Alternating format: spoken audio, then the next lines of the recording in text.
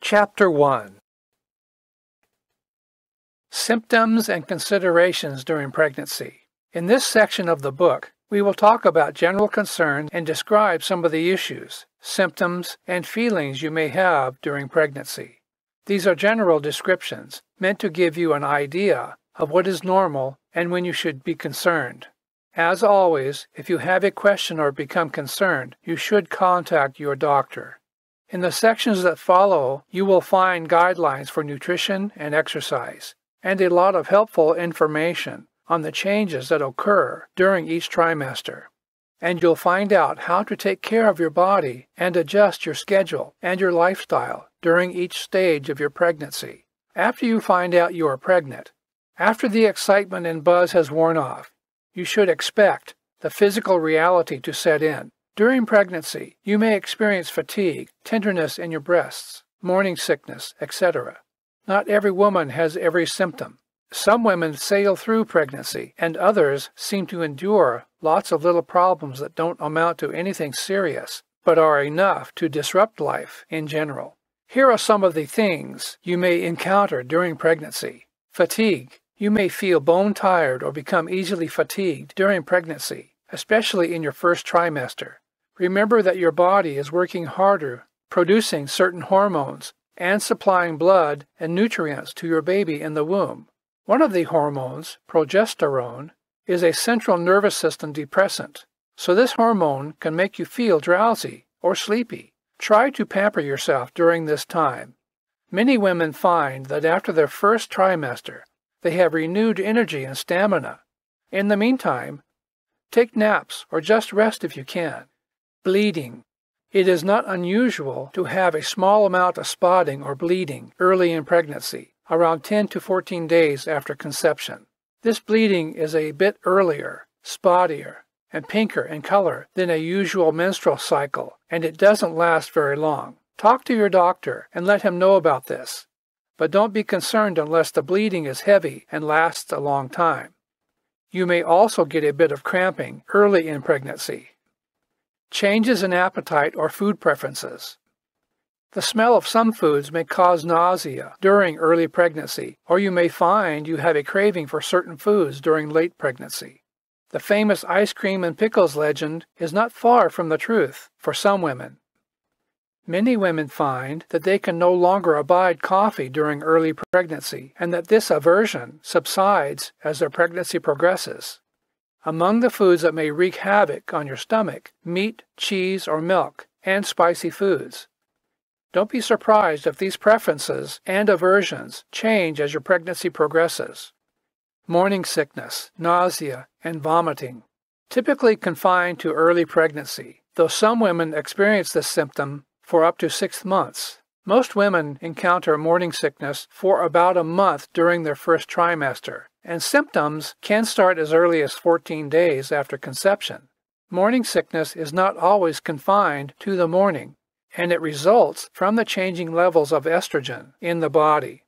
Some women experience morning sickness with no trigger, while others become nauseous from certain smells like cigarette or cigar smoke, strong perfume, coffee, or the smell of certain foods cooking. Increased urination. As your uterus enlarges, you are likely to feel the urge to go to the bathroom more often. This is normal during the first and third trimester. Breast tenderness and changes. Increased production of the estrogen and progesterone is required to prepare the breasts for nursing. During the early stages of pregnancy, some women complain that their breasts become so tender and sensitive that they can't even sleep on their stomach or touch the tissue on their breasts without discomfort. This tenderness does pass. Women who are flat chested often welcome the changes that the pregnancy brings as their breasts increase in size. So be sure to buy and wear a comfortable bra with plenty of support during and after pregnancy to accommodate these changes. If you are planning to nurse your baby, you will want to look for special nursing bras to make nursing easier. Headaches. Many pregnant women complain of mild headaches that occur frequently early in pregnancy. These headaches occur because of increased blood circulation caused by hormonal fluctuation and changes in the body. Constipation and bloating. Constipation is common during early pregnancy because of an increase in progesterone that slows digestion. Drink plenty of water to keep your body hydrated and help ease constipation and bloating. Mood fluctuation. Again, it is all due to the hormonal changes in your body. You may be an even tempered person and suddenly find yourself crying or losing your temper for no reason. Understand that these mood swings are common during the first trimester and will usually improve. Dizziness. Early in your pregnancy, you may feel dizzy or faint because of low blood sugar and changes in circulation and hormone levels. Be sure to drink plenty of water and keep crackers and other healthy snacks on hand to address low blood sugar. And don't be surprised if you need to rest and pamper yourself a bit more, especially during early pregnancy. Weight gain and changes in center of gravity. Your balance and center of gravity are going to change as your body changes. Don't try to walk a tightrope or a ladder in your new, enhanced condition. Wear sensible shoes without high heels so you can balance and walk more easily without falling or stumbling. Most mothers gain 25 to 35 pounds, some as much as 50 to 60 pounds during pregnancy, and that additional can make you uncomfortable, causing back pain and soreness. 50% of all pregnant women develop low back pain at some time during their pregnancy. Be sure to use your legs when you are lifting and use common sense when lifting or climbing during pregnancy. Increased and displaced weight puts more stress on joints, and as the baby grows, your lower back must compensate for this weight. We'll talk about exercise in a little while, but for now, understand that it is important to keep your muscles strong and limber during this time in order to avoid back strain and fatigue.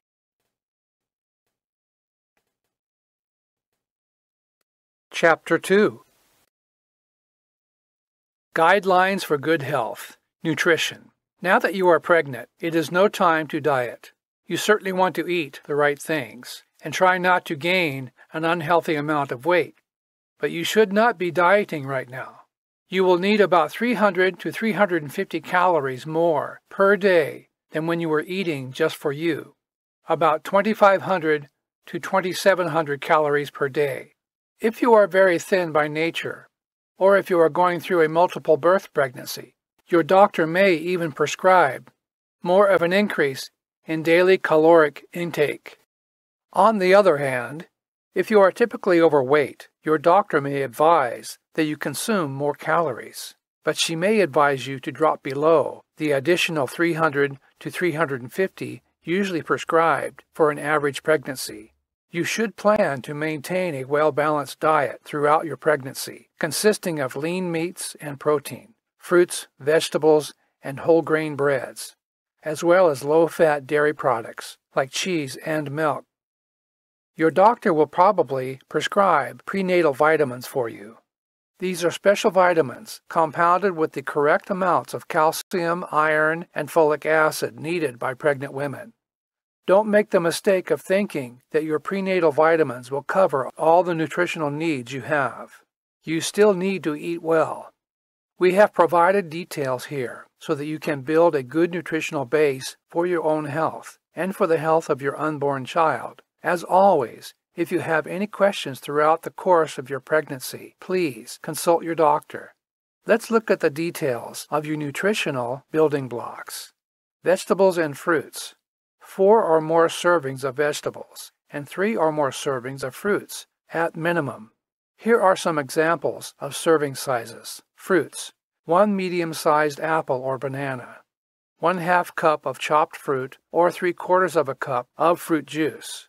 Vegetables. One cup of leafy vegetable, raw. One half cup of non-leafy vegetables, either cooked or raw. Or three quarters of a cup of vegetable juice like tomato juice. Eating fruits and vegetables that contain vitamin C will help you absorb iron, heal minor wounds, and maintain healthy gums and body tissue. Examples of these types of vegetables and fruits include fruits, papaya, tomato, orange, melon, strawberry. Vegetables, peppers, cabbage, broccoli, green leafy vegetables like spinach and escarole. Protein. Two or more servings of lean cooked meat or poultry without the skin, or fish. These servings should amount to 60 grams of protein per day. Here are some examples of serving sizes. Meat, poultry, fish. 2 to 3 ounces of cooked meat, poultry or fish.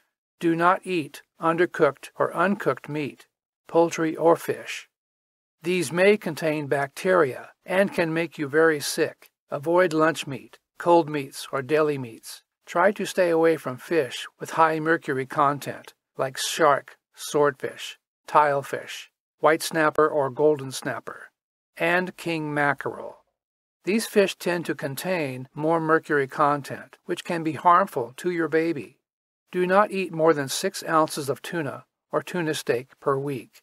If you need more information on mercury levels in fish, use this website www.cfsan.fda.gov. Other proteins 1 3rd cup of nuts, 1 cooked egg, 1 half cup of tofu or cooked beans or peas, or 2 tablespoons of peanut butter. Eating protein helps you to build muscle and keeps you healthy and strong. It also helps your body to provide antibodies for your baby. Protein contains B vitamins and iron important to produce rich red blood cells and keep your blood strong. Protein is especially important during your second and third trimester, as it will help your body keep up with the demands and growth of your baby in the womb. Whole grains and whole grain products. Nine or more servings of whole grain products per day. Try to stay away from white flour, sweetened cereals, etc. They contain little or no nutritional value. Here are some examples of serving sizes whole wheat or other whole grain bread, 1 cup of cooked hot cereal, brown rice or whole grain pasta, 1 cup of cold cereal. These products contain B vitamins and minerals and fiber to keep your body healthy and keep your digestive system moving. Folic acid is often added to cold breakfast cereals and to enrich grain products, and this is also an important mineral for your body during pregnancy. Look at the packaging and try to choose products that contain more folic acid wherever possible. Dairy products. Four or more servings per day. While you are pregnant, you will want to consume about 1,000 milligrams of calcium per day, 1,300 milligrams if you are under 18 years of age. If you cannot get that much calcium in your diet, ask your doctor about your prenatal vitamins to be sure that you are getting enough calcium by looking at your combined diet and supplements. If you find that you are lactose intolerant, you can use reduced lactose products or take tablets to increase your tolerance of dairy products.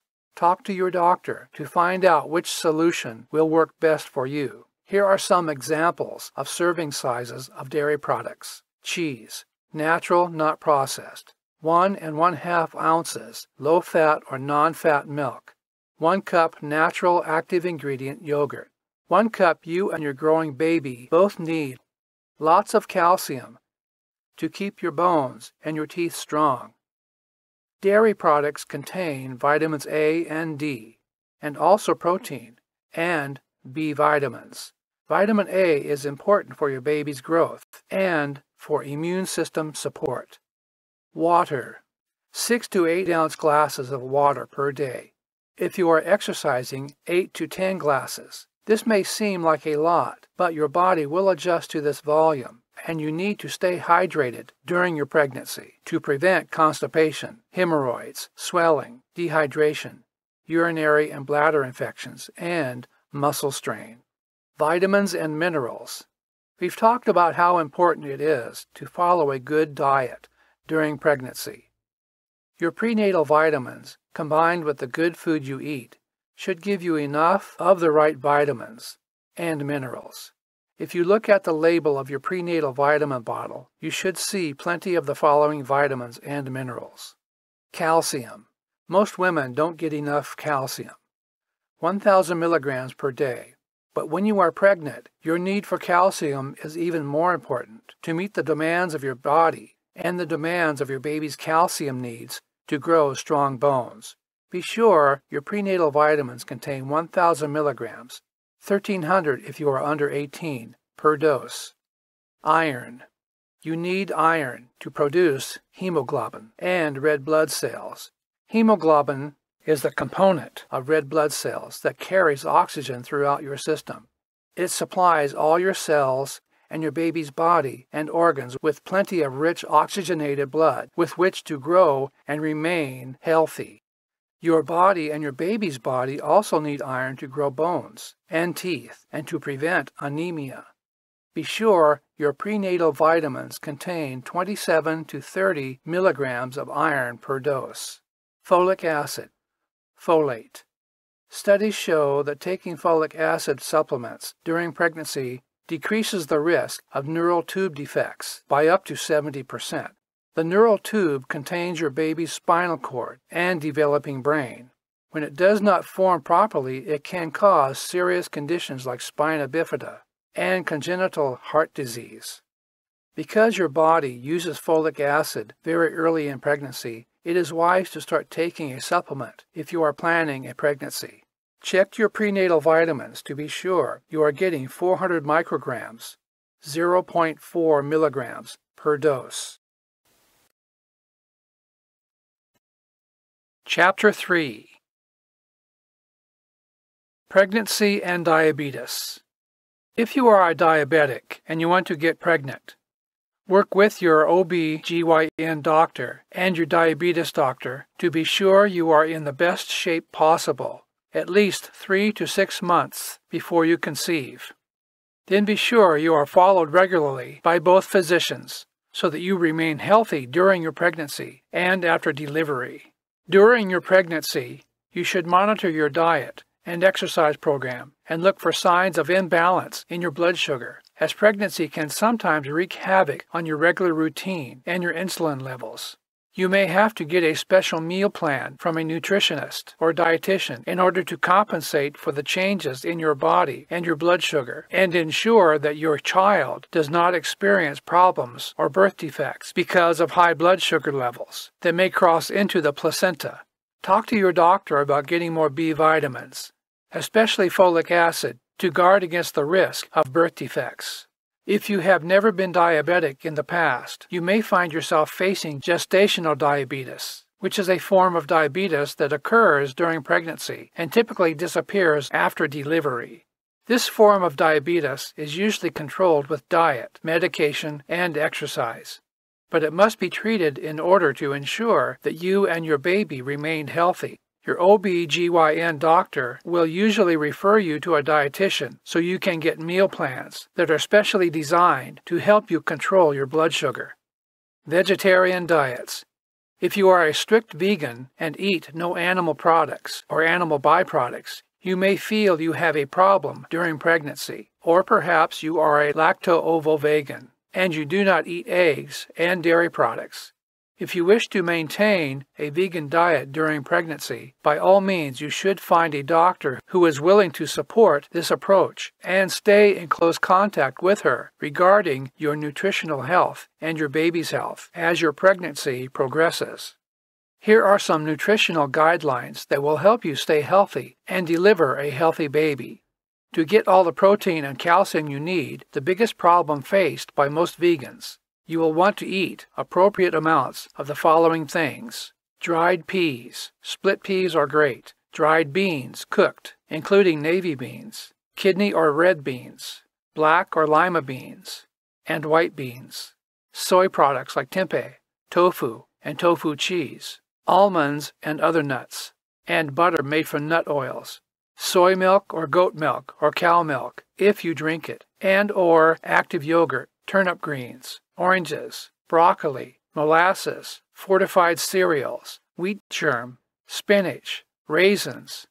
The great thing about a vegetarian diet is that it is already high in folic acid and B vitamins, and that is important to your baby's health and growth. However, you may find it hard to get your extra 300 to 350 calories per day if you are eating a vegetarian diet.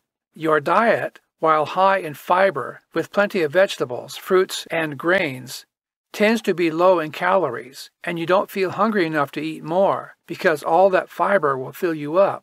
Talk to your doctor about this if you find that it is a problem. You may want to take a caloric supplement. Chapter 4 Things you should avoid in your diet. What you don't eat or drink during your pregnancy can be just as important as what you do consume. Here are some things to avoid while you are pregnant. Alcohol. We shouldn't have to tell you this, but we will anyway. Stay away from alcohol during pregnancy. A glass of wine or a bottle of beer may seem harmless enough, but no study has yet to determine how much is a safe amount of alcohol and how much can cause mental retardation, central nervous system damage, brain damage, and birth defects in your baby. It is better to be safe than sorry. Alcohol goes straight into your baby's body in high concentration levels through your bloodstream, through the umbilical cord, and into the placenta, and can cause any one of an array of symptoms included in fetal alcohol spectrum disorder, FASD. Children with FASD can have learning disabilities, memory and attention disorders, as well as language and vision or hearing problems, to name a few. So save that glass of wine or bottle of beer and enjoy it after you deliver your healthy child. Caffeine. Consuming a lot of caffeine can increase your chance of miscarriage. Two or three cups a day may not seem like much to you, but just to be safe, you should try to stop drinking coffee altogether. If you find you cannot do so, at least try to cut down to one cup per day or start drinking decaffeinated coffee. And remember, there are other beverages and foods that contain high concentrations of caffeine green tea and black tea, cola, cola sodas, pop, even chocolate. You can have these things in moderation. One cup of tea or a half a glass of soda, or a candy bar once a week, because the caffeine content in these products is typically much less than that contained in a cup of coffee 90 to 140 milligrams of caffeine. You'll be happy to know that the average candy bar only contains 5 to 30 milligrams of caffeine, but you still need to consider the fat content in that candy and remember the word moderation. Foods to avoid. Avoid foods that may carry bacteria and other foodborne illness, toxoplasmosis, and listeriosis. These can cause birth defects and miscarriage, and while you may be able to eat them with no problems, you may not want to take the risk during your pregnancy. Unpasteurized soft cheeses, often labeled as fresh cheese, like feta cheese, goat cheese, brie, camembert, and blue or Limburger cheeses, unpasteurized milk, juice, or apple cider, raw eggs, or foods that contain raw eggs, like tiramisu, mousse, cookie or cake batter, homemade ice cream, Caesar dressing, if made fresh, raw fish like sushi, and certainly raw meat. High mercury content fish like shark, swordfish, tilefish, white snapper or golden snapper, and king mackerel. If you are a health advocate and you routinely take herbs, please do not take these particular herbs while you are pregnant.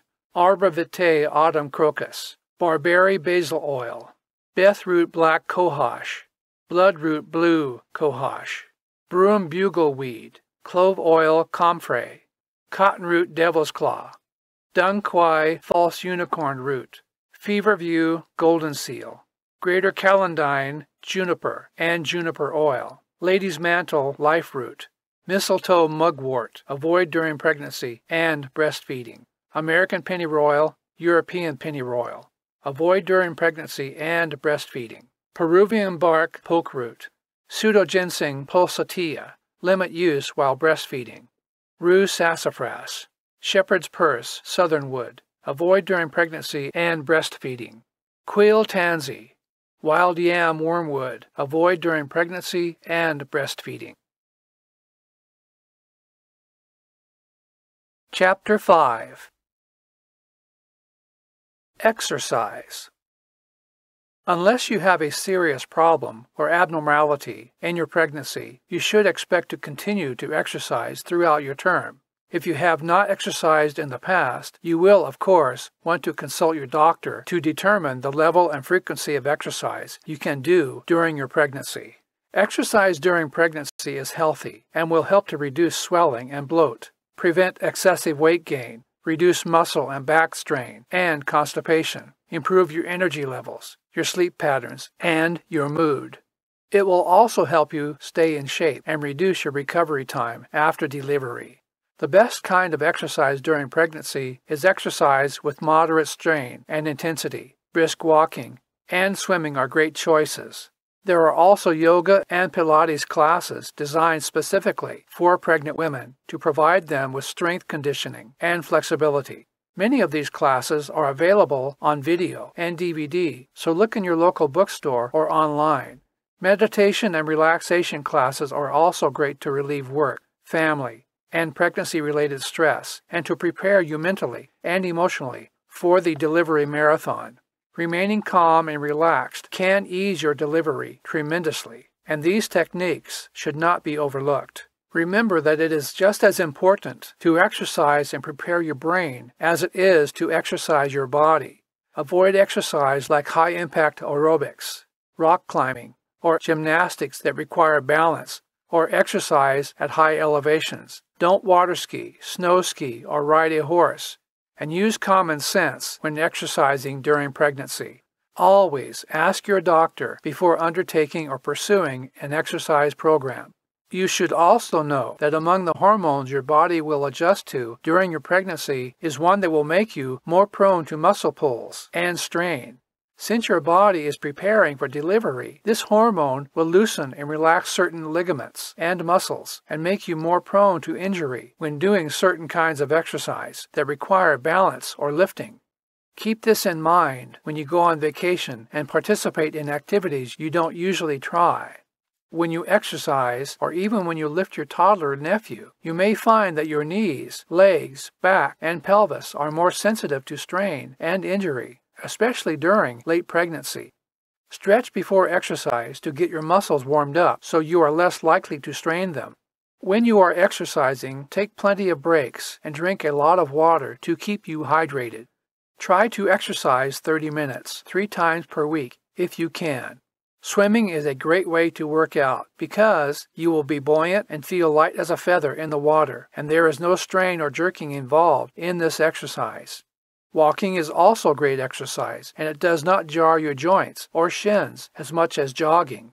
Even women who have not exercised before pregnancy can usually begin a regimen of walking and work up to 30 minutes, three times a week, with a gradual schedule. If you were a jogger before pregnancy, you may be able to continue this activity with some modification to schedule and intensity. Talk to your doctor about it. Wear good shoes and watch your balance. Remember, your center of gravity has changed, so you may be prone to falls on uneven surfaces while walking or jogging. Monitor your pulse and be sure that your heart rate does not exceed 140 beats per minute. Do not participate in strenuous activity for more than 15 minutes at a time. If you feel tired, overheated, or dizzy, or if you get nauseous, weak, or have blurred vision or heart palpitations, stop immediately and sit down and rest. If these feelings do not pass within a few minutes after stopping the activity, call your doctor immediately. Chapter 6 Lifestyle Food and exercise are important components of a healthy pregnancy. So is the way you live your life. Your lifestyle considerations include everything from the medications you take and the amount of sleep you get to the level of stress you experience on a daily basis. Let's look at some of the factors you need to consider in your lifestyle medication, drugs, and medical treatment. If you are taking prescription or over the counter medication, talk to your OB/GYN doctor about these medications and be sure you can continue taking them throughout your pregnancy. There may be safer options you can consider, or you may have to stop taking medications or supplements that are not absolutely necessary to your health during this time. Even the most common over the counter OTC and prescription medications may be dangerous to take during pregnancy because of their effect on your unborn child. Don't make assumptions. Talk to your doctor. If you are seeing a specialist for a medical issue, be sure to let them know you are pregnant so that they can consider that and talk to your OB/GYN doctor if appropriate. Remember to tell x-ray technicians and dentists that you are pregnant as well.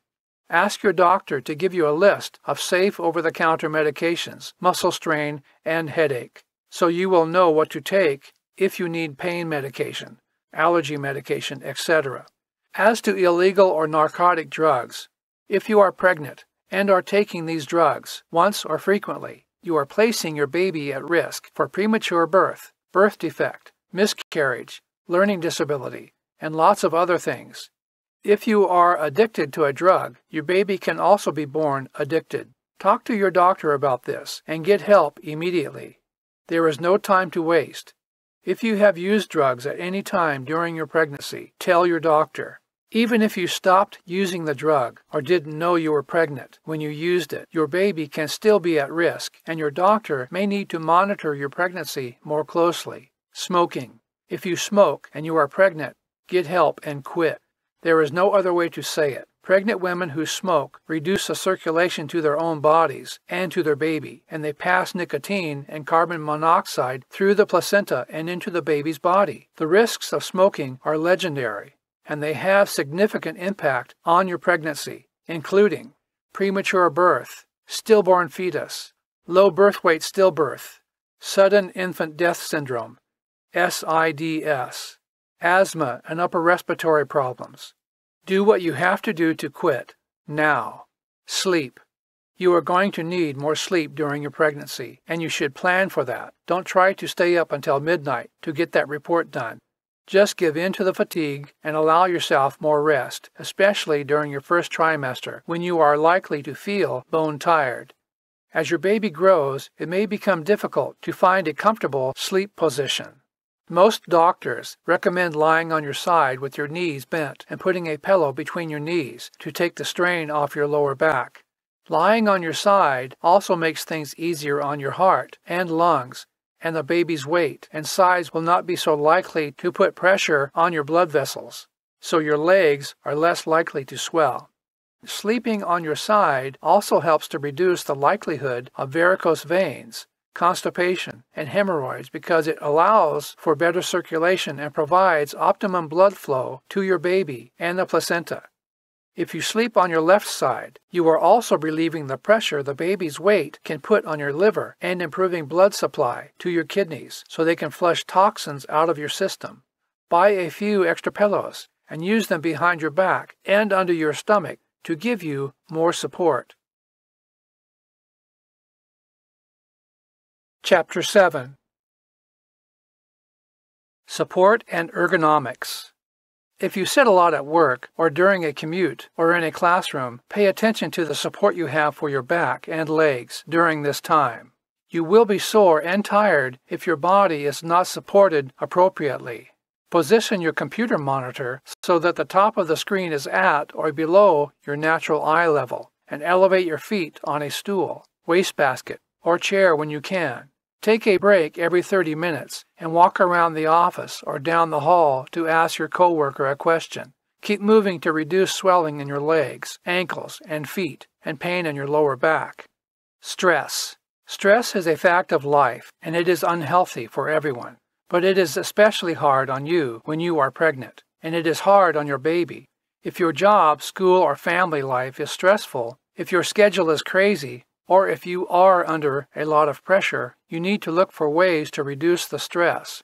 You may have to stop working sooner if you can't find solutions at work. If your stress comes from a long or intense commute to work, consider ways to change that commute by working at home a few days a week. Talk to your employer and your coworkers and enlist their help during the time you are pregnant. You can return the favor after you deliver. Let your family help you with things you can afford to delegate and allow yourself to be pampered. Be willing to let things go. You don't have to vacuum every day. You can buy good takeout food on occasion and ask your husband to do the laundry. Reduce the hours you work or study and try to get more relaxation time and rest time in your schedule. You will be better prepared for a healthy delivery if you look seriously at this issue.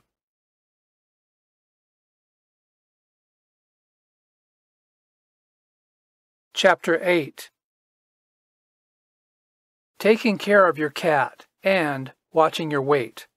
This is a great time to avoid cat litter. Pregnant women should not clean litter boxes because of the risk of toxoplasmosis spread through dirty cat litter. Your baby may be born prematurely, suffer from poor growth, or even have eye or brain damage if you are exposed to this toxic substance. What makes this problem more serious is that you are likely to be symptom free while having passed toxoplasmosis to your child who can suffer from the effects of the toxin. Watching your weight. You should and will gain weight during your pregnancy. Most of your weight gain will be during your third trimester.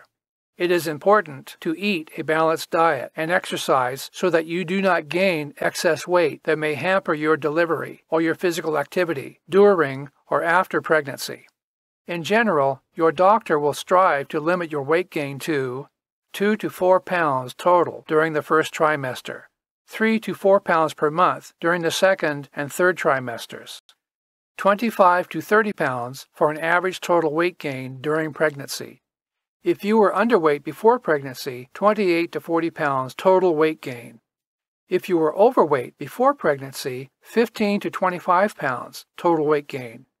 Your total weight gain during pregnancy averages 6 to 8 pounds in baby weight with the rest consisting of water retention, amniotic fluid, placenta sac, and increased breast and urine weight.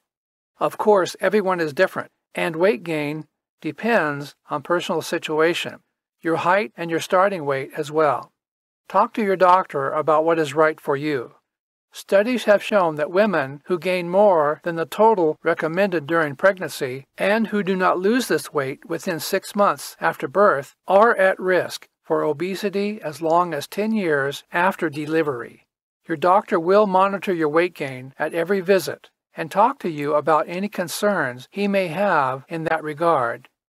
In the interim, if you wish to monitor your weight gain and compare it against averages, you can find more information at this website www.verybestbaby, just one word, dot com backslash tools backslash trackers backslash mommyweight dot asp question mark section equals tl. Chapter 9 Sex during pregnancy.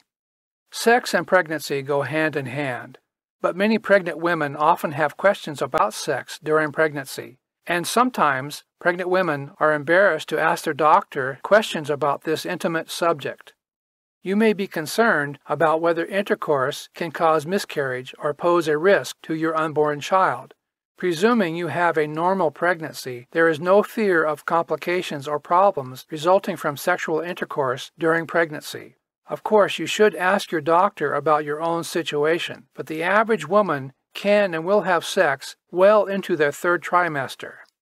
If you start to get uncomfortable in your third trimester and it is difficult for you to achieve or sustain certain positions because of your physical size, you and your partner may want to experiment with pillows or try new positions to make you more comfortable. We don't recommend sex toys during pregnancy because you don't want to introduce anything foreign that may have germs or bacteria on the surface. Talk to your doctor about your concerns, and if you want to do some research, take a look online to find out more information and answer your specific questions. From your first week of pregnancy to your last week of pregnancy, you should consider and attend your diet, your exercise, and physical activity and lifestyle issues. You may find it necessary to be more cautious and cease certain activities like skydiving, but in general, your pregnancy is a time when you will feel excited, healthy, and normal, in that you can do most anything you could do before you were pregnant. Remember to take good care of your health so that your baby is born healthy and your delivery goes smoothly. Most women report feeling healthy, well, and happy during pregnancy. While they may experience some discomfort as they progress through the, through the stages of pregnancy, and do not wish to sit in bed or hide in the back room as their great grandmothers might have done. For more information about health related issues, diet, exercise, and lifestyle, look at these great websites www.acog.org, www.cdc.gov backslash NCIDOD backslash NIP www.fns.usda.gov backslash fns backslash www.cdc.gov www.ask.hrsa.gov backslash capital M capital C capital H dot CFM www.cdc.gov backslash HIV www.cdc.gov backslash ncidol backslash dbmd backslash gbs www.cdc.gov backslash ncidod backslash diz backslash diseases www.cdc.gov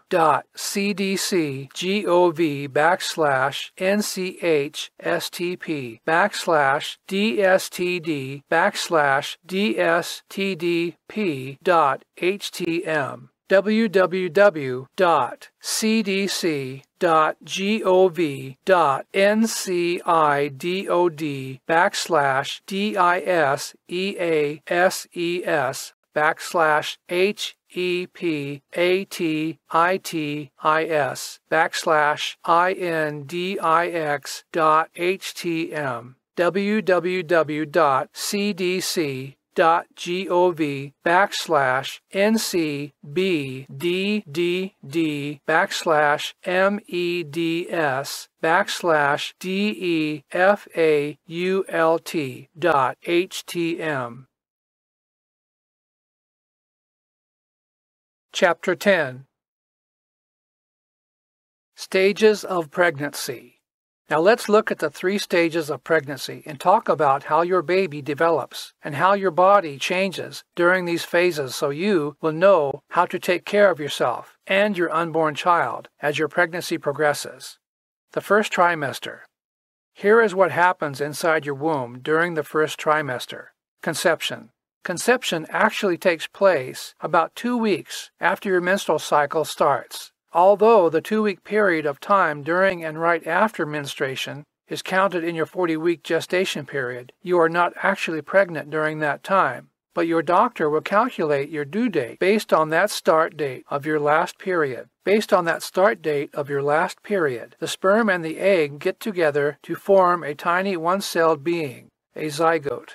The chromosomes in the zygote dictate gender, eye and hair color, height, and features. After fertilization takes place, the zygote will begin to travel down the fallopian tube and into the uterus. Your little zygote is now called a blastocyte, a not so pretty name for your new baby. When the blastocyte reaches the uterus, it attaches itself to the uterine wall, sometime between day 7 and day 9 following conception and the placenta begins to form. If you have been paying attention to your cycles, you may already be celebrating a positive pregnancy test by now. At this point, your child is officially an embryo with a developing brain, spine, and organs. Not quite halfway through the first trimester, your baby's heart and circulatory system will develop quickly. You won't be able to hear your baby's heartbeat yet but your doctor may see the first signs of a heartbeat during an ultrasound test. Once the circulatory system has completed its circuit, the heart will beat, and the first organ in your baby's body will be functional. In week six, your baby is about eighth of an inch in size, and the neural tube for his her brain and spine is nearly closed. The heart is beating and basic facial features are forming, including the mouth and the ears. The tissue for ribs and muscles is developing and the buds are in place to grow arms and legs. Her or his skull is not solid yet, but she or he has formed all the canals and channels he or she will need to circulate spinal fluid. During week 8, fingers and toes are now visible. Though they are still webbed, there is increased definition in the joints, ankles, elbows, and wrists, and his ears, lips, nose, and eyelids are more defined. By the ninth week, your baby is just about an inch long, and the embryonic tail at the bottom of the spine is shrinking fast. Her or his head is tucked down on her or his chest, and he or she has started to form nipples, reproductive organs, and hair follicles. Organs like the pancreas and gallbladder have also developed. Nearly at the end of the first trimester, your baby has developed his vital organs, lost his embryonic tail, and the webbing between the fingers and toes. The bones are formed, and the brain is cranking out neurons. The eyelids and the outer ears are formed, and he or she is starting to grow tooth buds. Congratulations, you now have a fetus. Genitalia is becoming apparent, and your placenta is working overtime to supply the nutrients for her or his growth during the second and third trimester. As your first trimester draws to a close, your baby is about three inches long and weighs a little less than one ounce. He, she has fingernails and a more well defined face. If you don't already have an OB/GYN, or if you want to find another healthcare professional like a midwife to follow your pregnancy, you will need to start looking for a healthcare provider as soon as you think you are pregnant. Finding the best obstetrician, family doctor, or nurse, midwife can be a challenge. You may wish to ask friends with children and get some personal references you trust. Make a list of the numbers you want to call and make an appointment for a consultation so you can meet the person before you decide.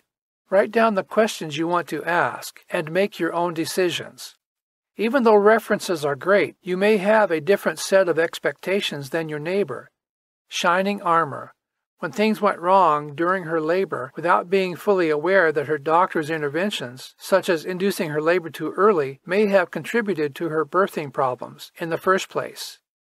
Check with the La Leche League by calling the listing in the white pages or looking online at www.lalecheleague.org. They talk to pregnant and nursing women all the time, and they know the local providers well. Talk to at least three doctors or healthcare professionals so you know that you are choosing the one best for your style and preferences. During the interview, ask if your health insurance will cover his, her care. Ask about their experience and history delivering babies, and especially about experience with medical complications. What hospitals or birthing centers do they attend? How often you will see them? How often you will see them for visits, and what kinds of tests will they do. How many C sections do they perform versus natural births? How can you reach them if you have a question or problem in between visits? Once you have chosen your doctor or other healthcare professional, she, he will examine you and give you an estimated due date. This exam may will include blood and urine samples, a pap smear, and tests for HIV, syphilis, gonorrhea, and chlamydia. Remember that we said that your doctor will start your pregnancy clock on the first day of your last menstrual cycle. You might be interested to know that the average pregnancy is 266 days in length, 38 weeks, not 40 weeks as calculated by your doctor. The reason for this discrepancy is so that your is so that your doctor can take into consideration all the variables, stress, diet, variable menstrual cycles, and other things. Your doctor will give you an estimated due date, but if you want to figure it out for yourself, you can use this calculation. First, add 7 days to the first day of your last menstrual period, then count forward 9 months. If your typical menstrual cycle is shorter or longer than 28 days, you will have to add or subtract more days to make the final estimated due date more accurate. If you can't remember when your last menstrual period started, your doctor may suggest a sonogram to determine a more reasonable estimated due date, though this is not necessarily a precise way to calculate. The fact is that when your baby is ready to be born, he, she will let you know. A sonogram at any time during the first four months of your pregnancy can help your care provider establish your due date with a reasonable amount of accuracy. But babies' growth rates become more individual as they mature, and sonograms later on in pregnancy may not be precise. Less than 5% of babies arrive on the day they were predicted, so don't plan things around that day. About 1 in 5 pregnancies results in a miscarriage and this usually happens before the heartbeat is detected. About 1 in 8 babies arrive prematurely. Unless there are health risks involved in a prolonged pregnancy or the baby seems to be in jeopardy, your doctor will rarely suggest inducing labor. The best idea is to wait until the baby is ready. Now that you understand your estimated due date, you will want to be sure you have all the information you need in between visits. Talk to your doctor about your diet, exercise, and any medical history you think is pertinent. Go home, take your prenatal vitamins, exercise, and make any lifestyle changes you need to make. If you have morning sickness, it should peak around the eighth week of your pregnancy. Some women have more severe nausea than others, and up to 50% of pregnant women still have symptoms in their 20th week. Other symptoms you will probably experience in your first trimester include fatigue and tenderness in your breasts. In order to remember the things you want to discuss with your doctor at the next visit and to track dates, you may want to keep a pregnancy journal and include your trimester milestones, when your next doctor's appointment is, what you have been eating, and when you experienced any symptoms you want to discuss with your doctor. If your questions are not urgent, write them down so you don't forget to ask the next time you see the doctor. If your questions or concerns are urgent, call your doctor right away. At the end of your first trimester, your doctor may suggest a blood serum screening to determine your risk of having a baby with Down syndrome, open neural tube defect, or trisomy 18. She may also suggest a chorionic villus sampling if you have a family history of genetic problems. If your doctor suggests other tests, ask him why he is recommending these tests and what the results will tell him. If test results are not good, remember that your doctor has more options and remedies for problem pregnancies than ever before in history. Get all the information about the issue and remain calm. Your doctor may suggest you see a specialist if concerns are serious. Finally, a word about pregnancy related headaches. These can come from hormonal changes, dehydration, and lots of other sources. If you experience any migraine headache during pregnancy, know that about 15% of pregnant women get migraines during this time, and it is usually during early pregnancy. About 10 to 30 minutes before onset of a migraine, you may start to feel tired and nauseated. You may even get blurred vision or see tiny spots of flashing light. Other symptoms can include a tingling sensation in your hands or legs and sensitivity to light and sound. Ask your doctor how to treat these headaches and understand that they usually go away as your pregnancy progresses. If your headache includes any of the following symptoms, call your doctor immediately. Sudden or explosive head pain, headache accompanied by fever and or stiff neck, Headaches accompanied by slurred speech or serious vision problems. If you work in a strenuous job or in a risky environment, you should tell your doctor about your pregnancy immediately and talk to your doctor about taking your leave sooner or see if you can work in another or see if you can work in another section of the company temporarily. An example of a risky job might be a job where you have to climb or balance, like a telephone repair job, a chemist, x-ray technician, medical disease research, or a job where you have to do a lot of lifting, or a job where you work in a poorly ventilated location, or where it is very hot or very cold all the time. You should also be wary of jobs that require you to travel to countries where you might be exposed to exotic or contagious diseases.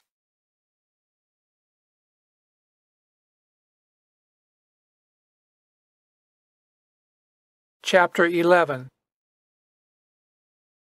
Second trimester. What's happening inside the womb now? Your baby is more active, though you can't quite feel it moving yet. He may start to put his thumb in his mouth now, and his skull is starting to get more solid. Ribs are starting to form, but aren't quite visible yet. Early in the second trimester, hormones are having their effect. The prostate gland or ovaries are developing. The roof of the baby's mouth is nearly complete. Around the third week of this trimester, your baby has now a layer of transparent skin and is starting to form eyebrows and hair on his head. Eyes and ears have more definition, and bone and marrow are now forming. One month into the second trimester, your child is four and five inches in length and weighs nearly three ounces. Her eyes are becoming sensitive to light, and she can squint, frown, and display other expressions. She can also make a fist. That all important fat layer that keeps us warm and protects and energizes our body is forming now. Your child can swallow. The nerves in his brain are now connected to the ears, which have reached their final position on the skull. Your son can hear your heartbeat and the rumble of hunger in your stomach. He may react to loud noises outside his environment by jumping or moving. By the 18th week of your pregnancy, you may already have felt the first signs of life in your womb. If not, you will soon. Your baby's hearing has improved. He can faintly hear your voice and the voices of others as you converse. He can move his muscles reflectively, and his kidneys are producing urine, which is stored in your amniotic sac after it is excreted. He has a new coating, vernix, and very fine hair, lanugo to protect his thin skin. About six inches long now, weighing about nine ounces, your baby is most likely moving around by now, and you can feel it. Her skin is thicker and less transparent, and she has eyebrows and some hair on her head. During this trimester, bone marrow begins to produce red blood cells, and your child starts to ingest sugar from your amniotic fluid. Your baby is about one pound, around 21 weeks into your pregnancy. She has developed a sense of touch and now has taste buds. Genitalia is complete. Your child will practice breathing by moving your amniotic fluid in and out of his lungs. His skin is much less transparent and he is developing more fat. Your son has fingerprints. His inner ear has developed to the point where he can sense whether he is upside down in the womb. By now, he will have developed a schedule or cycle for sleep and wakefulness. Fingers and hands are fully developed, though your baby's ability to control these tools is far from refined. You will notice more movement as your child explores his limited universe within the womb. Maybe close to two pounds by your 25th week, your baby is growing faster with clearly defined eyebrows, eyelashes, and eyes. At the end of this trimester, you are two thirds of the way to delivery, and the changes you and your baby experience during the final trimester will be even more dramatic. Right now, your baby's organs and immune system are working hard to reach completion in time for delivery, and he has grown to three to four inches in length since the end of the first trimester. During your second trimester, you may still be experiencing morning sickness, and you may have started to have headaches and sensitivity and aversion to certain smells and foods. If you have waited to tell your family, co-workers, and friends about your pregnancy, you can probably do so now. Most women are skittish about announcing a pregnancy before the second trimester begins because miscarriage most often occurs during the first trimester. If your appearance or your symptoms change early in your pregnancy, you may already have been faced with this announcement. If you work in a risky job or a strenuous or a dangerous position, you have probably already told your employer you are pregnant and decided on what you will do to protect your child and yourself during your pregnancy. If you have not done this, you need to do it ASAP. During this trimester, you will want to start thinking about and talking to your doctor about delivery related issues. Give yourself plenty of time to talk about these things and decide so you are not caught short when you are trying to prepare your home and family for the impending delivery during your first trimester where you will have the baby. Who will you choose as your pediatrician? Will you take childbirth classes and have a natural delivery, or do you want to opt for pain medication during birth? If you are going to take a childbirth course, ask your doctor for recommendations and remember that you will usually need a partner. You can also find out about the alternatives by looking on these websites www.la M-A-Z-E dot org, O-R-G. www www.braleybirth, that's B-R-A-L-E-Y B-I-R-T-H dot com. Another question you might discuss with your doctor is whether to breastfeed or use formula. As long as we are on the topic of breastfeeding, let's talk about the changes in your breasts and how to best care for your breasts during pregnancy and prepare them for breastfeeding, if that is your choice. Your breasts are going to get bigger over the course of your pregnancy, and your rib cage will get wider to accommodate your growing baby. You may notice tiny blue blood vessels on your chest as your blood vessels dilate and enlarge. Your nipples and areola, the dark area surrounding the nipple, will get larger and darker so that your newborn infant can more easily see them for nursing after birth. Little bumps may appear around your areola.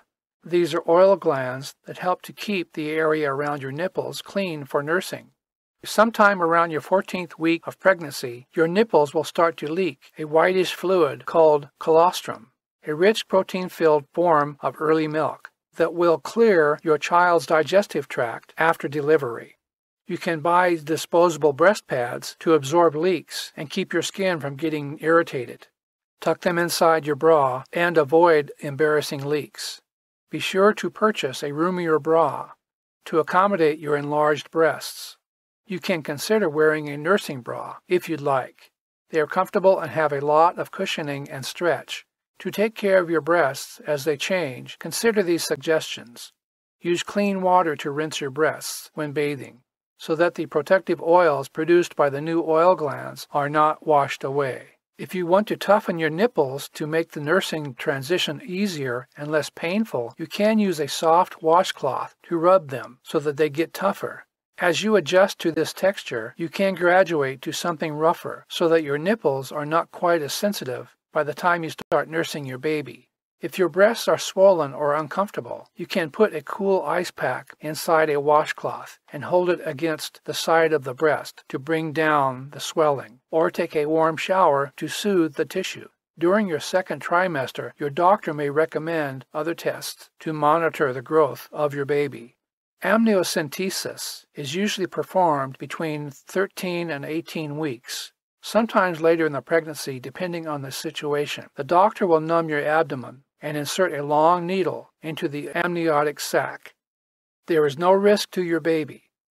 The fluid drawn from the sac can tell the doctor about abnormalities or problems. If you are over 35, your doctor may recommend this test to be sure that your pregnancy is progressing normally. A percutaneous umbilical blood sampling, PUBS, or cordocentesis helps your doctor tell if your baby suffers from specific diseases like sickle cell disease and hemophilia. In this test, a needle is also passed through your abdomen into your uterus. But in this case, the doctor will draw a small sample of blood from your umbilical cord. Sometime around week 15 of your pregnancy, your doctor may suggest an ultrasound or sonogram to look at the size of your baby and determine whether your pregnancy is on schedule. An ultrasound is painless, but you do have to drink and hold a lot of water, so you may be a bit uncomfortable. The technician will use a handheld device and slide it back and forth across your abdomen to produce an image of your baby from high frequency sound waves. If you are still exercising by the end of your second trimester, good for you. Just remember not to push yourself until you are out of breath or exhausted. Take breaks and allow yourself the luxury of adjusting to your new size and shape. Avoid exercise that strains your lower back or legs, or exercises that require you to lie flat on the floor. Instead of riding a bike in the street, consider riding a stationary bike so that your balance and shifting center of gravity do not cause you to fall. You can exercise by scrubbing the floor or taking a power walk to the post office or corner market. This is also a good time to start your Kegel exercises, named after Arnold Kegel. Kegel exercises strengthen your pelvic floor and prepare you for delivery, and you can do them anywhere. Tighten and release the muscles on your pelvic floor, as if you were trying to stop the flow of urine. The name of the muscle you are tightening and releasing is pubococcygeus, PC, and it goes from your pubic bone to your tailbone. Pregnancy can weaken this muscle and cause you to leak urine when you laugh, cough, or strain. One study reported that 50% of pregnant women have symptoms of bladder weakness during and after pregnancy. But the Kegel exercise doesn't keep you dry. It just keeps your baby's head in the best position for labor and delivery. Don't make the mistake of tightening your entire lower abdomen, thighs, and or buttocks. Be sure you isolate and specify the muscle. By thinking of tightening the muscle you would tighten to stop urinating. Kegel is easy to do, and you can do it whenever you think about doing it, at the grocery store or at work. Start with 10 to 25 cycles, a few times a day, and work your way up to 100 squeezes a day. You will probably notice a change in your hair and skin texture. Some women report oilier or drier than normal hair and skin, and some even say their hair gets straighter or curlier. Some women also report that their hair grows faster and their skin is more sensitive when they are pregnant. The glands that produce oil in your body will increase or decrease production depending on your hormonal balance. For some women, the second trimester of their pregnancy signals the best hair days of their lives.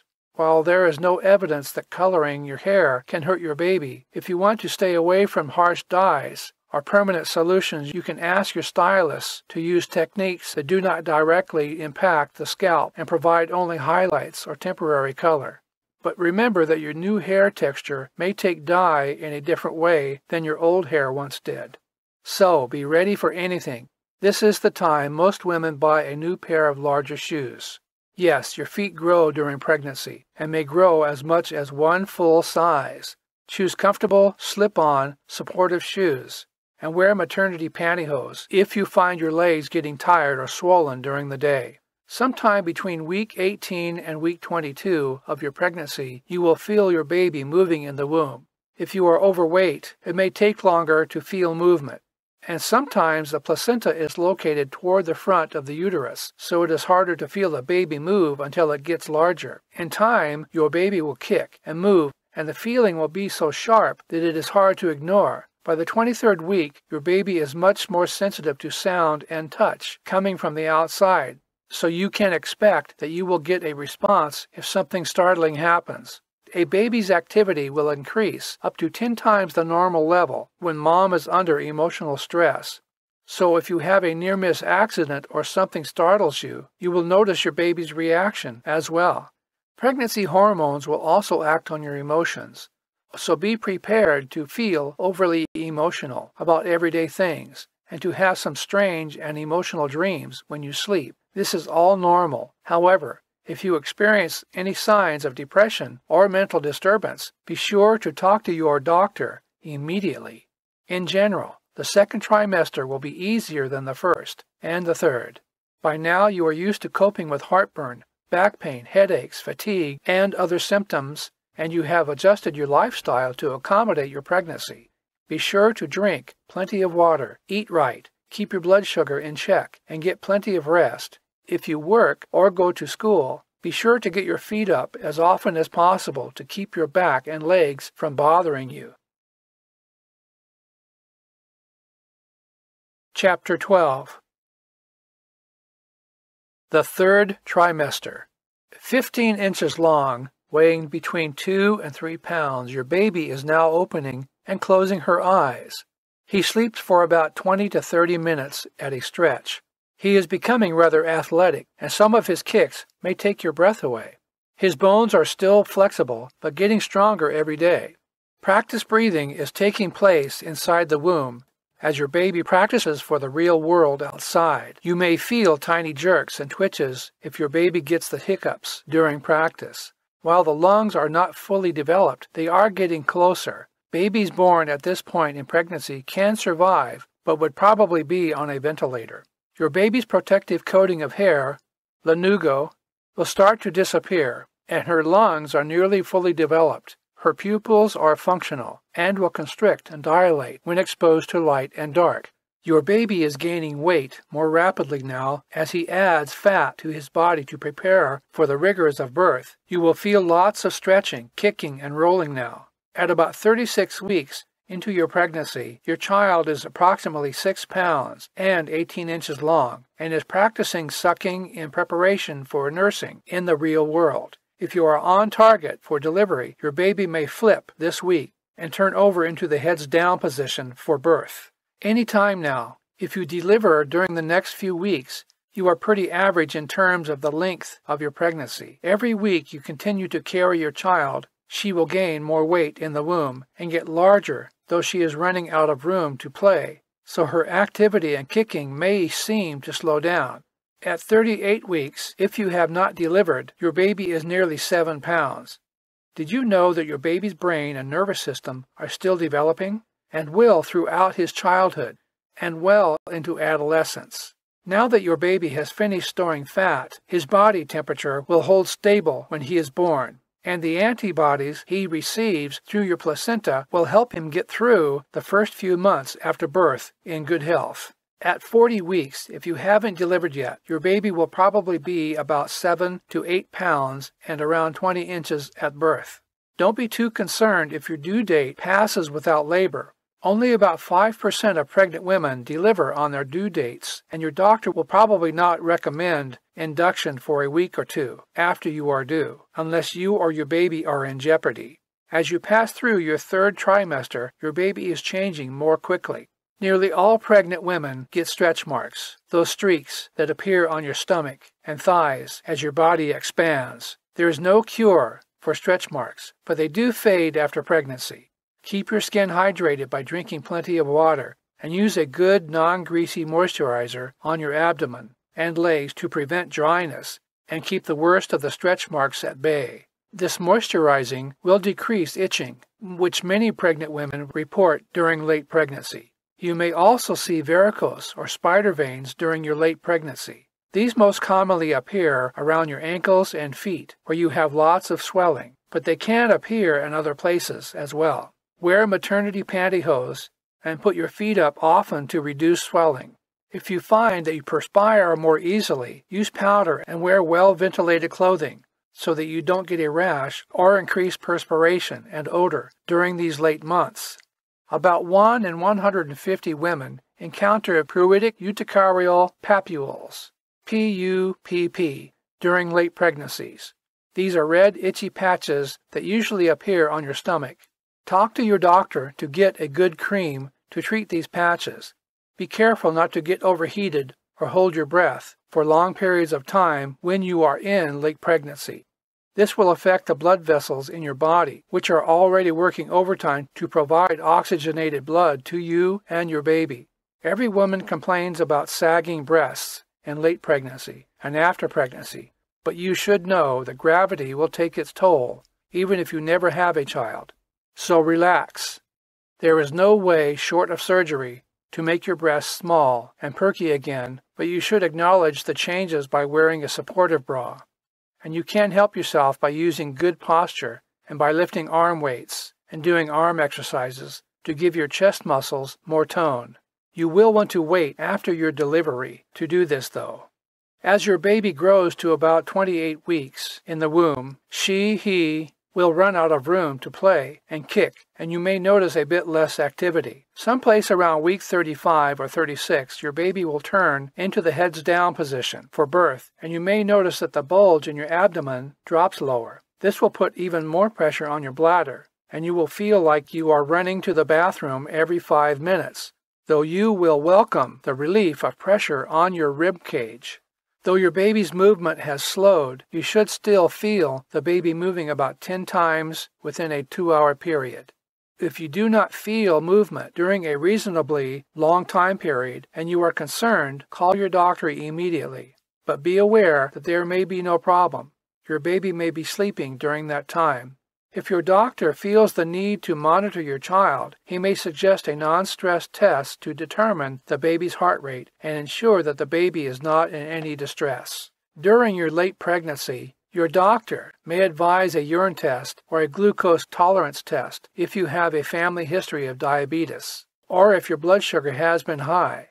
In these last few months, you may notice more problems with digestion and heartburn, simply because there is less space for your body to do its work. Be sure to drink plenty of water and try to eat small amounts more often so you are not overstuffed. Take a walk after you eat to stimulate digestion. Some women sleep in a propped position or support themselves with pillows to allow better digestion and to relieve discomfort. During your last weeks of pregnancy, you will probably align your sleep patterns to those of your baby. By now, you are hopefully on maternity leave, and if you have difficulty getting enough rest, you may want to try to nap when you feel the need. Your baby is likely to squirm when you lie down. This is because he can adjust and take a bit more space for himself when you are lying down. So let him get comfortable after you get comfortable. In order to improve your sleep, eat a light meal at dinner time so you don't feel stuffed and try taking a walk after dinner. Take a warm, not extremely hot bath before bed and stretch a little to loosen your muscles. Listen to relaxing music and be sure the room is dark so you can sleep. It is common for pregnant women to experience painless Braxton Hicks contractions during the last few months of pregnancy. These do not signal labor, but instead will fade and disappear. Some changes you will note that indicate you are getting closer. Your doctor may report that your cervix is thinner and is starting to dilate. This doesn't mean you are going to the hospital at that moment, though. You may wait for a few days before it is time. You may see a small amount of pink or red jelly-like stain indicated that the plug that seals off the mouth of the uterus has come loose. Labor may still be a few days off, but let your doctor know that, that this has happened. Remember that your baby will give your body the signal when he, she is ready to be born. A complex set of hormonal changes will take place to soften the cervix and start contractions that will push the baby out into the world. If you go well beyond your due date, your doctor may suggest keeping a kick count to see how active your baby is over a certain number of hours. Or he may suggest a sonogram to measure amniotic fluid and fetal activity. If you are past 40 weeks gestation, your doctor may suggest that you induce labor, though most doctors prefer to wait for the baby signal. However, if your baby is in distress or if your pregnancy is protracted and causing you health problems, Induction may be necessary. Your doctor will check you into the hospital and give you medication to start or enhance contractions and to get the process moving. Chapter 13 Be prepared. Planning for delivery. During your second or third trimester, you should begin to look at the hospitals or birthing centers with whom your healthcare professional is associated. If you have a choice of facilities, take a tour of the maternity area to decide which facility you prefer. You can arrange a tour by calling the hospital or birthing center. We'll give you some suggestions on questions to ask and things to look for that will make your delivery day easier and ensure that there are no surprises. Patients' rights and informed consent. Remember that you have rights as a patient and get a copy of the hospital or birthing center privacy and patient rights brochures. Read it thoroughly and be sure to ask your doctor and the staff at the facility any questions you may have about these standards. Any medical procedures, tests, medications, or other action that is administered to you during your delivery and your time in the hospital requires informed consent in other words, the staff must explain what they are doing and why they are doing it, and you have the right to refuse treatment if you wish.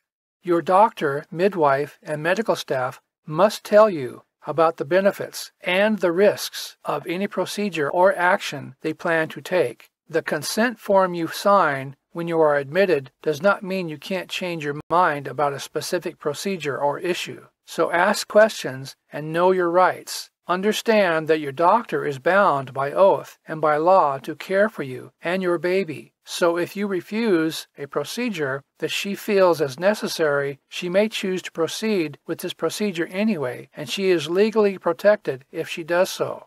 You will have to sort out the legality and the outcome after delivery. You also have a right to ask for a second opinion about your treatment, but in an emergency, there may not be time to call for another doctor and get that second opinion. It is important to note that, in most cases, your pregnancy and delivery will proceed in a healthy manner and you will never be faced with these kinds of life and death decisions. But even for the small decisions where you have options, you do have the right to get a second opinion or to refuse what your doctor recommends. So it is important that you know your rights. Your doctor, midwife, and medical staff are there to help you, not to hurt you, and in most cases, you won't face any significant disagreement. Once you have chosen your birthing facility, get familiar with the procedures and the layout of the facility so you can relax and be calm on the day of your delivery. Remember, if you know where you are going and what is going to happen to you, you are less likely to be stressed over the small details.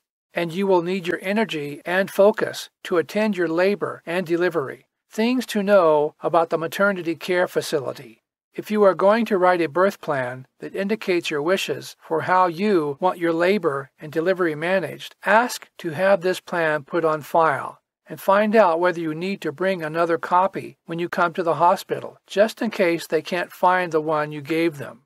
We'll give you some details about drafting a birth plan in a minute. Also, find out if they will follow this plan, presuming there are no emergencies or special circumstances. Does your chosen hospital have policies they must follow for all patients in labor? If so, you should find out what they are so that you can take them into consideration when you write your birth plan. Find out about nursing care as well.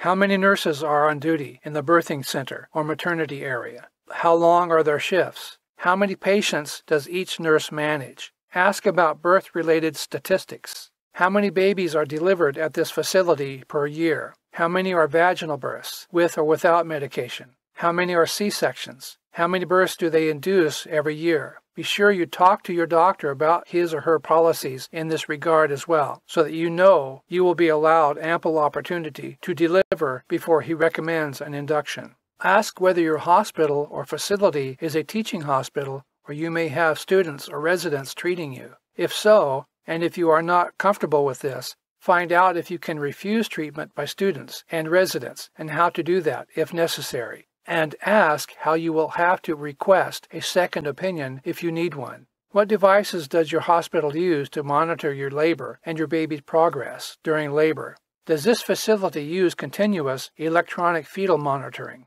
If you don't want this monitoring on a continuous basis, do you have the option of periodic monitoring? If you are uncomfortable during labor and wish to refuse a pelvic exam, can you do so?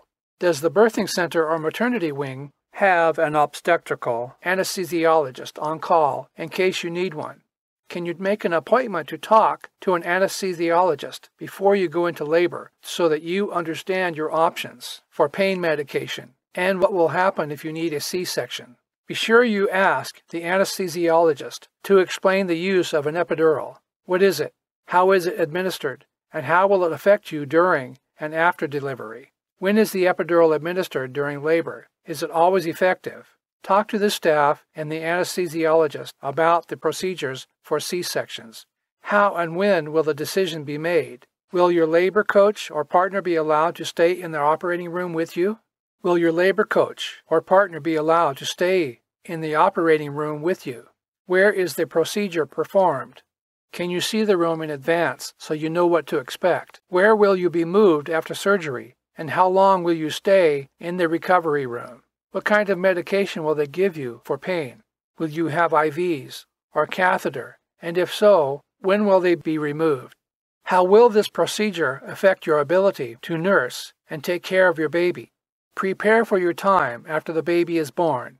Take a tour of the nursery and find out if your baby will be allowed to stay in your room most of the day, or if she, he will be brought to you at certain hours for feeding. What if you are not feeling well? Will the baby stay in the nursery temporarily, or will the baby stay in your room? Ask about special care facilities for your newborn. What if your baby is born prematurely or has a medical problem? Where is the special nursery? Can you take a tour of the facility and see what the equipment and nursing staff is like? Neonatal Intensive Care Units, NICU, are very important if you have a child with special needs, so be sure to understand your options in this regard. What is the visiting policy? Can you visit your baby at any time? Will you need to wear special gowns or clothing to go into the room? Get a list of the routine vaccinations and procedures they plan for your baby injections, tests, medications, etc., and ask what each of these means so that you know what they are doing when the staff tells you that they are about to perform a test or give your baby a shot. If you have a boy, ask about the hospital policy regarding circumcision. Is this optional, or do they automatically circumcise your child? Will your child receive pain medication for the circumcision and afterwards if necessary? If you are Jewish and you plan to have this done by a mohel, be sure to let the hospital know this. Lastly, find out how long your hospital stay will be for a normal vaginal delivery and for a C-section birth if required. Now, take all these details and consider them for your birth plan. Make it specific so that your doctor and medical staff don't have to guess if you are unable to discuss it with them. The reason we suggest a birth plan is because it helps you to organize and consider your preferences and to ask all the right questions of your doctor and your hospital or birthing center staff so you are well prepared for your delivery. Birth plans are not legal documents, but you should show yours to your doctor and get him to sign off on your plans to be sure you are being reasonable in your expectations. Include information in your birth plan about whether you want induction, amniocentesis, IVs, heparin, locks, enemas, epidurals, medications or narcotics, whether you want to eat or drink, use a birthing tub, move around or walk during labor, how you wish to be monitored, continuous or periodic, whether you want your doctor to use forceps, whether you want self directed pushing versus doctor directed pushing. Keep your birth plan short and easy to read. Try to type it if you can, so no one has to struggle over poor handwriting. Hospital staff will not read the document if it is too long and wordy. Describe what you want and what you don't want. Your birth plan can also include what happens after delivery. Do you want your husband to cut the umbilical cord? and hold the baby first? Will your baby receive medication or vaccine? Will she be breastfed or bottle fed? What happens if your baby needs special care? When you think about what you want and what you don't want, you are more likely to talk to your doctor about all the crucial requirements before you get to the hospital, and there is often no time to have this discussion during labor. Birth plans can have disadvantages. Some doctors and medical staff do not appreciate being told what you want, but in that case, you may be using the wrong staff. If you have a testy healthcare professional on your hands, but one you would like to keep because of their knowledge and skills, be prudent about how you approach your birth plan. Talk to them first about the fact that you are thinking of doing one and ask for their input. That will get them engaged. After you've done the birth plan, ask them to look at it and give you feedback. Be willing to be flexible and reasonable. Don't feel you have to control every detail. Most doctors and hospital staff are reasonable enough to work with you if you approach them in a polite and respectful manner. Now that you have drafted your birth plan, there are a few other things you'll want to ask your hospital or birthing center staff to be prepared for going home with your baby. Ask if your birthing center or hospital offers aftercare visits from nurses, lactation consultants, or other healthcare professionals after you have been discharged from the facility. And be sure you find out about classes or support groups for new parents. Most facilities offer these on site, and others will recommend a community based program that will help you learn basic skills like bathing your infant. Some groups, like the Leche League, provide support for nursing mothers and there are even support group roundtables where new parents can share their excitement and concerns with other new parents and get answers from a skilled, knowledgeable facilitator. Chapter 14 The big day is finally here. What to do during labor? The waiting is over. You have finally reached the big day. You should know that only one in ten pregnant women experiences the legendary breaking of the waters as the first sign of impending birth. If you are one of those women, you may feel a slow trickle that is only enough to dampen your underwear. Or you may wake up to a wet sheet in the morning. Rarely is there a dramatic gush of water. The water from your amniotic sac has a slightly salty smell, and it is clear and a bit sticky with some flecks. If your amniotic fluid is cloudy or green, tell your doctor this. Labor contractions do not start right away, but they will usually appear somewhere between 24 and 48 hours after your amniotic fluid is released. In any case, you should call your doctor to let him know that your water has broken. He will probably want you to come into the office for a visit so he can determine where you are in your labor schedule. He will probably apply an antiseptic cream around the opening of your uterus to be sure that you have protection against infection until the baby is born. While you are waiting for your contractions to start, take showers, not baths, and don't allow anything into your vagina other than your doctor's sterile glove. Before you go into labor, you may have some diarrhea or vomiting. This doesn't always happen, but it will happen in many women. If you do experience these symptoms, your labor will typically begin within 12 to 24 hours after the onset of nausea or diarrhea. Do not try any herbal remedies or other things to induce labor on your own. The following symptoms do not signal labor but may indicate a medical problem. You should call your doctor immediately if you experience any of these. Abdominal pain, as opposed to uterine pain. Vaginal bleeding, absence of fetal movement for 24 hours after the fifth month of your pregnancy, dim or blurry vision, or severe or constant headache, severe swelling of eyelids, hands, or face during the last trimester, persistent severe vomiting. When your labor starts, you will know that you are not having the old standby Braxton Hicks contractions you have had during your pregnancy Remember that these contractions are relatively painless and last only 30 to 60 seconds. True labor contractions are longer and more regular and will not go away. They will increase in strength and severity as your labor progresses, and they will get closer together as your delivery draws near. You don't have to run to the hospital or birthing center at the first sign of labor you are more likely to remain calm and comfortable at home, and you will have plenty of time to get there. If your partner or labor coach is at a distance from you or the hospital, let them know you have started labor and get someone to sit with you for a while if it will make you comfortable. Allow plenty of time to get to the hospital if you live in a city or if you are leaving around rush hour. If this is your first baby, you may find that you are more uncomfortable during the first part of labor than during the last part. For experienced mothers, the end of the labor cycle seems more difficult. Whatever the case, don't panic. If you have taken a course for natural childbirth, you don't have to start your breathing and childbirth strategies right away. Just relax and wait until you need them. You have another 10 to 12 hours before you deliver, and you want to reserve your strength for the final sprint. Rest and drink plenty of water, and you can eat a little if you find you have an appetite. Just don't overload your stomach. Eat healthy food like protein and vegetables, or whole grain bread, or just nibble on crackers and fruit. If you find you want to take a bath, be sure you have help to get you in and out of the tub at home. You should contact your doctor to let them know that your labor has started. She will probably tell you to call back when your contractions are about one minute in length and about five minutes apart.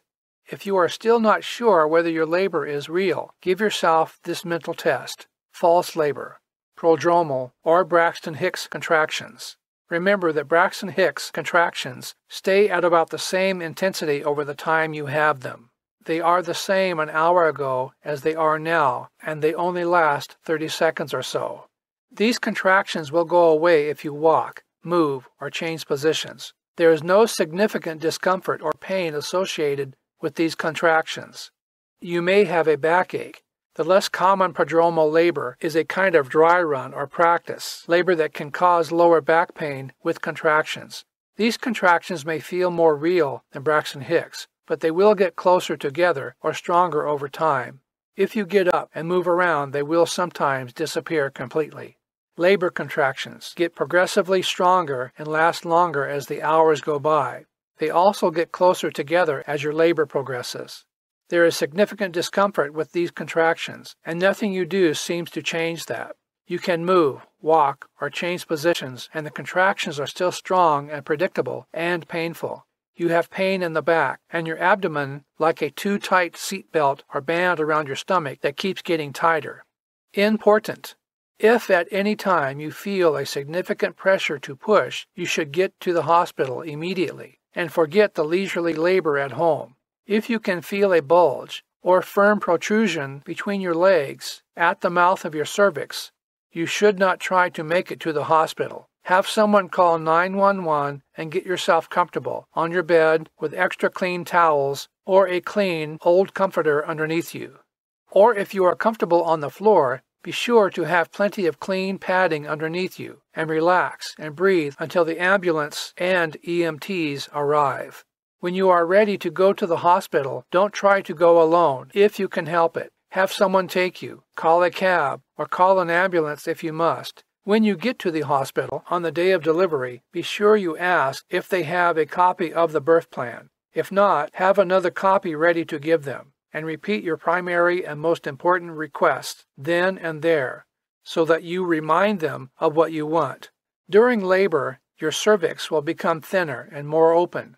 If you are a first time mother, this may take 10 hours or more. If you have already had a child, it may take only 2 to 3 hours. Your doctor will refer this dual process as effacing and dilating, and he will use your progress to determine how soon you may give birth. The thinning of the cervix effacement is noted as a percentage. If you are 25% effaced, you are only one quarter of the way there. The widening of the opening in your cervix dilation is noted in centimeters, and sometimes in fingers. When your cervix is fully dilated, it is about 10 centimeters across, or your doctor may say you are two or three fingers dilated, meaning your cervix is dilated by about 3 to 4 centimeters and still has a way to go. As your labor progresses, contractions will get more intense and you will have shorter breaks between these contractions. But even at the longest point of your labor, these contractions never last more than one and a half minutes, and you will typically have at least 30 seconds between contractions. Each contraction occurs in three stages the increment phase, or startup, the acme phase, the height of the contraction, and the decrement phase. The contraction slows to a halt, and you will get a brief rest in between each cycle. The discomfort of labor is primarily from the pressure and weight of the baby's body, putting pressure on your organs and body and traveling down through the birth canal, causing the hips to widen and the head and body pushing against the cervix. Stage 1 labor. The upper half of your uterus becomes more dense and the lower half thinner, so that it pushes against your baby to propel him, her, down into the birth canal. Every time you have a contraction during this stage, your baby will move down as it progresses through the narrow change in your pelvis. Stage 2 labor begins as soon as your cervix and uterus have completed their effacing and dilation processes. This stage is considerably shorter than the first stage and may last 20 to 60 minutes. Unless you are heavily medicated or you have had an epidural, you will feel like you must start pushing your baby out. Try to resist this urge until your doctor tells you to go ahead. And if you are going to push, try to control the wind on your own schedule gently pushing with breathing in between so that you can go with what your body is telling you to do. Because the uterus does most of the work, you may not have to push much at all, and what the doctors call the Valsalva maneuver, or the purple push, will raise your blood pressure and tire you more quickly. So, if your doctor asks you to push, ask him to do it on your own count as you are ready. Your baby will be born within the same time period, and you and your baby will both be less stressed. Once the baby is born, your doctor will snip the umbilical cord. The umbilical cord is about 22 inches long and looks rather like a spiral tube with a white membrane covering it, and your baby will become its own independent entity, no longer dependent on your body, though certainly dependent on you as her new mother in this brave new world. The doctor will then take the baby for a moment to clean out her mouth and record her vital statistics, weight, length, etc.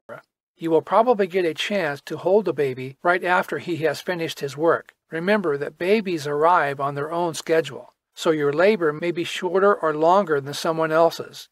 In most cases, this is just what is normal for you and for this baby, not necessarily what will happen in any subsequent births. Before we finish talking about labor, we should note that you have one more thing to do before your delivery is over. You have to expel the placenta, the amniotic sac that has nourished and cradled your baby while he, she has developed in your uterus. During your pregnancy, the placenta is attached to the wall of your uterus with slender threads or roots, and it gets its nourishment for your baby from your body. It stores carbohydrates, minerals, protein, and fats and feeds them to your child through the umbilical cord, conduit for oxygen for your baby's body. It also carries away waste matter and carbon monoxide, which is then washed through your kidneys and out of your system. At the time of your baby's birth, the placenta will be about 6 to 8 inches in diameter, about 1 inch thick, and about 1 pound in weight. After your baby is born, the placenta will detach itself from the uterine wall so that you can deliver it through the same canal from which your baby was born. If you see the placenta while your doctor is delivering it, you will notice its rich red, kidney bean color and a texture that is squishy and sponge like. Your doctor will put the placenta in a bowl and examine it to be sure that it is intact and there is no fragments missing that may still be attached to the uterine wall. Within hours after delivery, your uterus will shrink, reverting to almost normal size within 10 days after your baby is born. For about six weeks after delivery, you will experience some bleeding as your uterus cleans out the remaining fluid and other artifacts of your pregnancy. If this discharge has a foul, strange odor, call your doctor and let him know. A few months after housekeeping activities are completed, your ovaries will release another egg and you are once again ready to make a baby. Chapter 15 Summary Giving birth is indeed a strange and wonderful thing. It is a very natural event and should not be considered an illness, though you may need medication or surgery in some instances. Still, with all the knowledge doctors, midwives, and nurses have about pregnancy and birth, every mother and every child is different. Every pregnancy is different, and every labor and delivery is different.